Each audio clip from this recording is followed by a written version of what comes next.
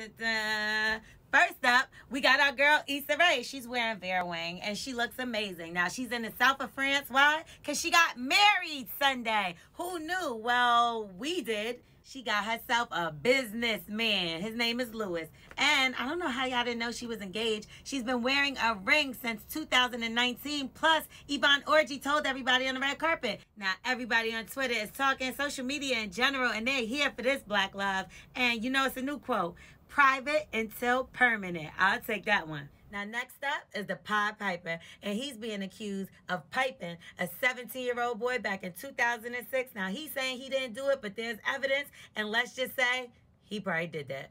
Now, he's set to go back to court in August in Brooklyn for racketeering. His lawyers are saying this is all a play to make people look at him different. We looked at him different. All right, now we got Moneybagg Yo and Ari Fletcher. They did not break up. That was all cap. Anyway, seems like they back together and Ari is in a club with her friend and she was dancing all up on him. But she said because he was gay is okay. Y'all see this shit? Well, her boyfriend Moneybagg Yo said he's not insecure, but even I'm getting hard and I'm not even a boy. what y'all think? Nicki Minaj got a new bestie. And she's beam me up bestie. Listen, Bratz gifted her a brand new doll, her own doll. And it's kind of like a collab. Barbie, Bratz, get it? Maybe I could be a doll.